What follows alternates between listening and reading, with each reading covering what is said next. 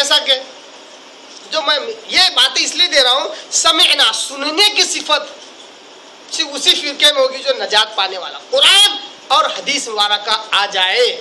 ان دو چیزوں کا بار بار کیوں ذکر کر رہا ہوں؟ آج وسلم نے خود کہا ہے محتم مالک اور بیکی کہتی اس لوگوں میں تمہارے درمیان دو ہی چیزیں چھوڑے جا رہا ہوں۔ ایک اللہ کتاب، دوسرے اس کے نبی کی سنت۔ دو ہی چیزیں ہیں، تیسری چیز ہے ہی نہیں۔ نہ تین کیا جائے، نہ دو میں سے ایک نکالا جائے۔ دونوں طریقے سے گمراہی مقدر ہو جائے گی۔ تو سننے کی صفت صرف ناجی، نجات پانے والے فرقے میں ہوگی۔ جیسا کہ بہت ساری احادیث ہیں جو کہ اختلافی بن چکی ہے جبکہ اختلافی ہے ہی نہیں۔ ابھی کچھ ہی دنوں بعد، مہینوں نہیں، کچھ ہی دنوں بعد رمضان آنے والا ہے۔ رمضان میں روزے کی نیت کیسے کی جائے؟ اب آپ ایک نہیں، دو نہیں، دس حدیثیں رکھو، صحیح حدیثیں کہ نیت کہتے دل کے ارادے کا نام۔ اور اس کے ساتھ یہ بھی رکھو کہ دیکھو، آپ وسلم کا زمانہ گزرا۔ حدیث کی مشہور پندرہ کتابیں اور ستر سے زیادہ حدیث کتاب۔ ایک بھی حدیث میں اس بات کا ذکر نہیں ہے کہ روزہ رکھنا ہو تو یہ دعا پڑھے، یہ نیت کرے۔ ان تسوم غدن للہ تعالی من شہر رمضان فلاں فلاں فلاں نہیں ہے بولو ارے بتاؤ مت ہم کو۔ ہم تو وہی کریں گے جو مل رہا ہم کو۔ سننے کی صفت نہیں۔ سنیں گے بھی نہیں۔ صحیح حدیث ہے۔ بھئی یہ نیت نہیں ہے تو بھی نہیں سنیں گے۔ اور ہر بار صبح سحری میں اٹھیں گے اور بولیں گے، کل کی نیت کرتا ہوں۔ جبکہ مغرب کے بعد تو دوسرا دن نکل چکا ہے۔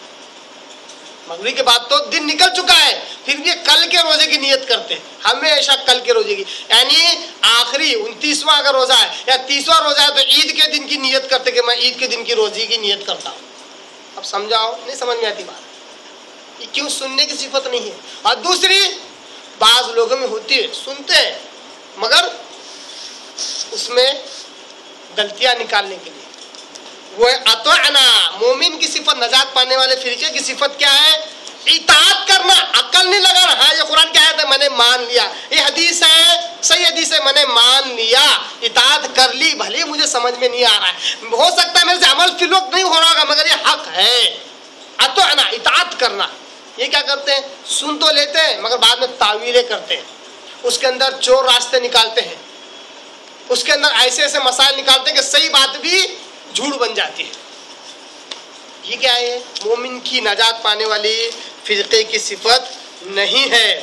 دو چیزیں ہو گئی سمینا واتانا تیسری صفت جو ایمان والوں کی نجات پانے والے فرقے کی ہے، وہ ہے غفرانک ربنا۔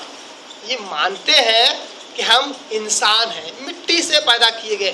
ہم سے غلطیاں ہونا ہی ہونا ہے۔ دیکھو، بہت بڑا عقیدہ ہی آیت بہت بڑا عقیدہ دے رہی ہے۔ ایمان والے کی اور نجات پانے والے فرقے کی۔ ان کا کیا عقیدہ ہے؟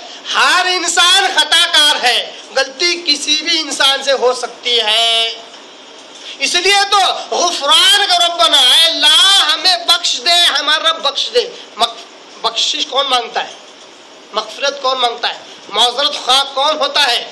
جس سے غلطی ہوتی ہے، غلطی ہونے کے امکانات ہوتے ہیں۔ اب اگر کوئی عقیدہ رکھے، انبیاء کے علاوہ کسی اور کے تعلق سے انبیاء سے بھی غلطی ہوتی ہے، مگر وہ معصوم انل خطا ہوتا ہے، اللہ نے پہلے معاف کر دیا ہوتا ہے۔ انبیاء کے علاوہ کسی بھی ہستی کی طرف سے یہ عقیدہ رکھے کہ ان سے غلطی ہوئی ہی نہیں ہے۔ تو وہ ایمان والا کہاں ہوا؟ وہ ناجی نجات پانے والے فرقے میں کیسا ہوا؟ ہم نے بہت سا لوگوں کا دیکھو بھائی، یہ فقہی مسئلہ ہے۔ یہ مسئلہ فلاں قرآن کے آیت کے خلاف ہے۔ فلاں صحیح حدیث کے خلاف ہے۔ ہاں؟ امام صاحب کا یہ مسئلہ، اس کو غلط بول رہے ان کا مسئلہ غلط۔ تم غلط ہو سکتے تمہاری پوری جماعت، تمہارا پورا خاندان، پوری دنیا غلط۔ امام صاحب کا مسئلہ غلط نہیں ہو سکتا۔ ہم نے کہا بھائی، ایسا جوڑ جذبے، محبت میں آ کر مت کو تحقیق کر کے دیکھو۔ فلاں آیت کے بالکل برخلاف اگر یہ مسئلہ مل رہا ہے تو چھوڑیں گے نہیں۔ پھر بھی پکڑے رہیں گے۔ نہیں نہیں ہمارے امام صاحب ساتھ غلطی نہیں ہو سکتی۔ ارے اللہ کے بندے، ایمان والے، نجات پانے والے وہی ہے جو یہ کہے اللہ ہم سے غلطی ہو سکتی ہے، تو ہمیں بخش دے۔ ہم سے غلطی ہو سکتی ہے، اللہ بخش دے اور ہم سے غلطی ہوئی ہے، اللہ بخش دے۔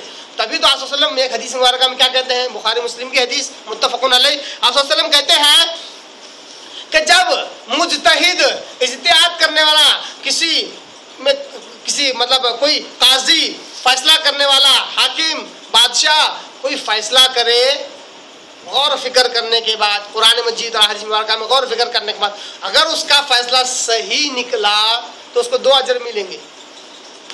ایک اس کا صحیح فیصلہ ہونے کی وجہ سے، دوسرا اس کی کوشش کی وجہ سے۔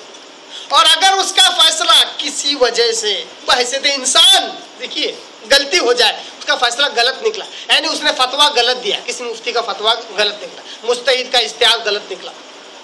اصل میں تب بھی اس کو ایک اجر ملے گا۔ کس بات کا؟ اس کی کوشش کا۔ یہ کیوں کہا تو وسلم نے؟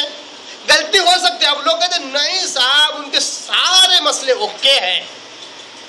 جبکہ حقیقت میں کتابوں میں دیکھا جائے تو استاد ہیں، ان کے شاگرد ہیں۔ استاد کا فتو الگ ہے شاگرد کا فتو الگ ہے، دونوں آپس میں ٹکرا رہے ہیں۔ پھر بھی لوگ کہہ رہے ہیں، نہیں میرے بھی استاد کی بات ہمیشہ صحیح۔